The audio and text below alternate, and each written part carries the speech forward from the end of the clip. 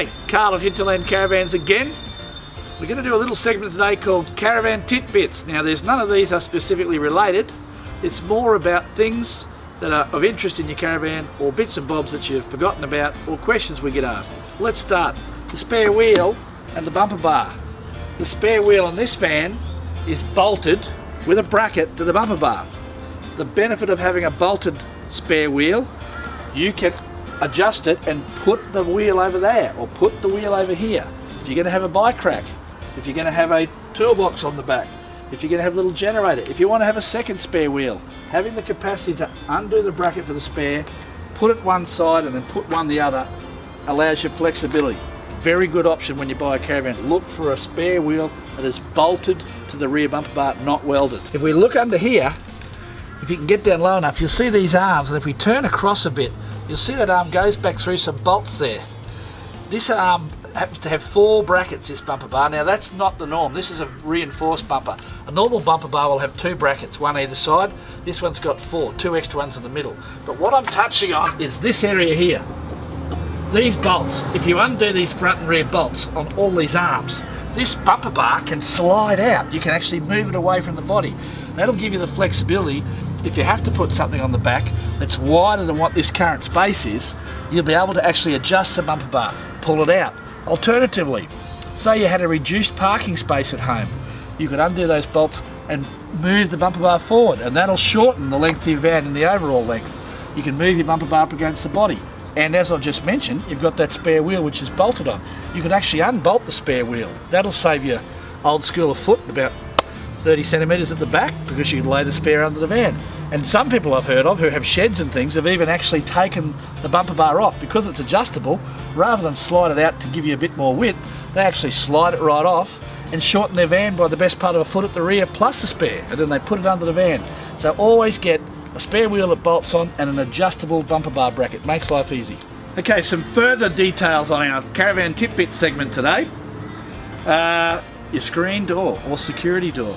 Now, this one happens to have a fine mesh. Some of them have got the Amplimesh, which is the crisscross pattern.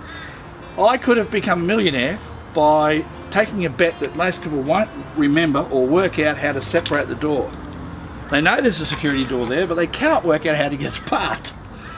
Are you ready? Don't tell anybody I have to shoot you. Watch this, look, tip the handle up. Separation. If only a good divorce was that easy. Put it back together, okay?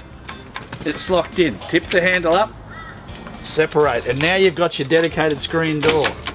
You, you can clip back your, uh, your real door, your glass panel door, and now you've got your screen door there. As I said, this one's got a mesh. Some have got the Amplimesh crisscross aluminium, like the old house style. This one's got rolled edges, if we have a look up the top here. That's what everybody wants these days. Having a rolled edge means that when your awning's out, or something was down low, it can't catch a sharp edge. Having that nice round corner protects the van from damaging the awning. The other thing is, these are the latest doors. We always use the best we can buy. These have got three lock points, one, two, three. So when it shuts, if you're on the inside and you lock it, you've got three points where the door's secured. You won't get into that van through that door. It'd be easier to get through a window, but you'll never get through that door. So there's your security screen. And remember, if you want to earn some money at the caravan park on the barbecues, get a non-camper, a non-caravanner, and see if they can work out how to get that screen apart. Because if you don't show them that tip the handle up, I'll guarantee you, a week from today they'll still be looking. I thought it was worthwhile while I had a chance and there was no one around, just to touch on these new windows. A lot of people uh, would not be familiar with this sort of window unless they've got a fairly current van. These are the new window that operates totally differently. You don't wind it, it clips out to release it, you see these latches here, you'll hear them click to come undone. There's four on this one, one each end and two in the middle. As such, you push the window out, you'll hear a click, and it locks in. And then you pull your screen down, which is which is hidden in the top here, right? There's your screen, and there's your blind. Now the upside of these, that's very convenient, and of course there's no curtains and things to get dusty or get in the way of preparing food in this kitchen area. But my big plus for these for people is that these windows are double glazed. If you come over here and have a look where my fingers are, you'll note that you can't squeeze your fingers together. That's because it's a bubble acrylic window. It's got two skins, an outer skin and an inner skin. and those are sealed together like a bubble, like what they have in the UK actually, or, or most of Europe. The windows are double glazed, and the benefit of that is that air pocket in there acts as an insulation. It traps the hot air trying to come into the van if you're outside in the hot conditions. If you've got your air conditioning going, the cold air doesn't dissipate straight out because it gets caught in that cavity. And it also acts as a noise reduction. So you get a window that's much better insulated, noise reduction. If you were unlucky and had a stone hit it, it wouldn't crack the window straight up because it's got two skins. You could get a, a a crack or a star on the outside skin, but you'd still be totally waterproof because you've got an inner skin, right? A second skin on the inside. One of the things I really like that's become pretty well standard in all the good vans are these aluminium steps, these entry steps. You don't want to have to step up into a van or more importantly step out of it because that's when you can roll an anchor or trip.